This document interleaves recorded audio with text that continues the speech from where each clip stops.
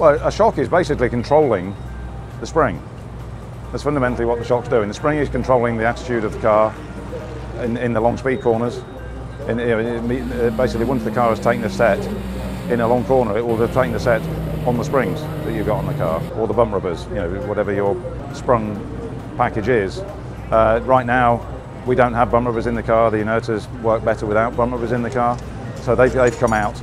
But, you, but because they, they do their own job of, of um, controlling the ride height movement of the car, controlling the, um, the tyre load uh, variation, and damping out the high frequency stuff.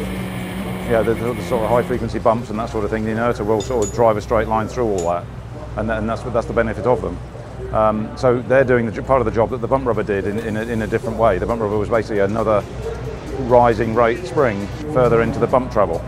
Now we've got these throughout the bump travel, so they work in a different way. Um, it's a very complicated subject. You know, it's a big, big subject, and I think what we'll end up doing is going, is doing an inerter sweep. The amount of inerter that we can afford to run at each track will be different track to track. So we need to, that will be one of our key points to get right at the beginning of a weekend is, is where the inerter needs to be. Underneath that, there's the, there's the, um, the, the, the damper shim stack, which is on the piston. So you can change the piston design from a digressive linear or a linear linear or a variable bleed piston. You can, you can, with from these pistons and the shims that go onto them, you can create a myriad of different damper curves.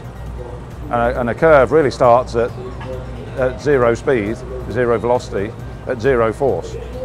And a damper is a speed sensitive device, so the faster the damper moves, the more force it creates. And so the, the shims that you put onto the piston vary the amount of force you get at different speeds of damper velocity. And so you can then control what happens when the driver first turns into a corner, which is generally low speed damping, and then what happens on a bumpy circuit, um, which is you know, higher speed damping. A slow corner will have high speed damping and a fast corner will have low speed damping. So Big Bend has got lower damping velocity than turn two, for instance. So you can, you can tune a car between the high speed and the low speed corners on damping as well as spring. And if the car's attitude isn't correct in a high speed corner, it's because it's on the wrong spring rate or the ride heights are wrong.